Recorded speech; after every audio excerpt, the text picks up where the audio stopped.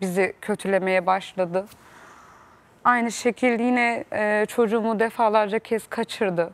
Daha emme sürecindeyken bile çocuğumu kaçırmıştı. Niye kaçırıyor çocuğu? Ya kendisi de bunu bana söylüyor niye kaçırdığını. Ne diyor ki ben kaçırıyorum ki bizim zor günler yaşadığımızı bakamadığımı gör sen de gel diye. Yani çocuğu kullan Rehin alıyor çocuğu Evet. yani. Rehin alıyor resmen. Evet yani amacının ben olduğumu zaten kendisi de dile getiriyor. Hiçbir şekilde çocuk değil niyeti. Şimdi bir dakika ben e, bu bu programda Serap çok acı çekti. Bir sürü e, acısı var ama şu anda çocuğuna acilen kavuşmak istiyor. E, bizim derdimiz bir an evvel Belinay'ımızı sağ salim e, saçının bir teline zarar gelmeden e, geri alabilmek. Belinay burada lütfen gören, duyan, bilen varsa e, lütfen şu anda e, Serap Diyarbakır'da mıdır diye düşünüyorsun? Memleketine mi götürmüştür? Yani gerçekten bilmiyorum ama oraya da götürmüş olabilir. Kartal'da da olabilir, Pendik'te de olabilir. Beylikdüzü'nde ailesi var. Ailesi var. Ailesinden bir birey. Kartal, Pendik, Diyarbakır. Biz bir aileyiz dedim ya.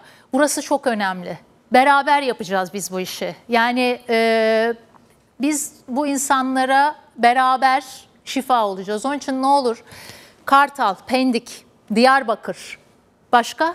Ee, Beylikdüzü. Beylikdüzü, bütün buralarda böyle bir yavruyu gören, bilen varsa lütfen bize mutlaka ve mutlaka ulaşsın 0544 221 11 11 WhatsApp ihbar hattımız ve ben e, bayrama da seslenmek istiyorum.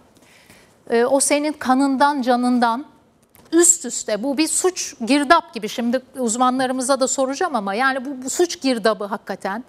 Ee, üst üste bir suçtan sonra bir başka suç, bir suçtan sonra bir başka suç böyle işliye işliye suç işleyerek gidiyorsun. O senin kanından canından evladın.